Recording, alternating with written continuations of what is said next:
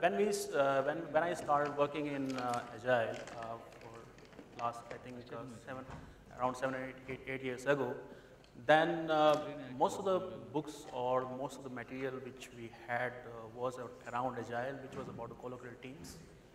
But if you think about the services company or the, or the way th uh, things work in India, most of the work is offshore and uh, uh, what we need to do is working in distributed agile. So as far as uh, the material is concerned, uh, there was very less material around it. So we had to struggle about it, like what, what we need to do when we start working in a distributed fashion. So basically what we started doing is we started experimenting and think and see like based on our common sense and uh, pragmatism, uh, pragmatism, how things work in distributed agile. And then we started evolving certain patterns. Uh, so this conversation or session is all about uh, those patterns or the practices which we generally face in, in our uh, way of working when we are working as an out, outsourced vendor or, uh, or working with multiple distributed teams. So so this is basically uh, the outcome of that experience. Yes. So basically the teams are sitting in the distributed location.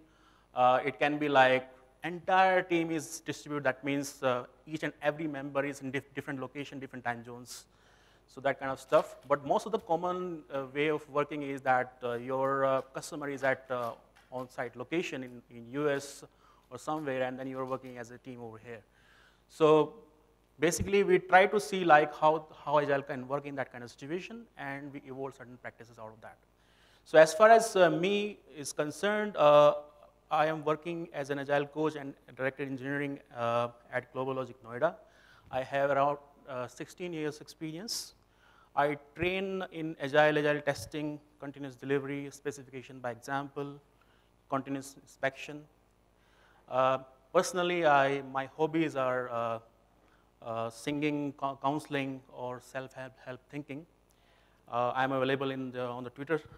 And I write a lot of blogs also on agilebuddha.com, where based on experience, we write our stuff.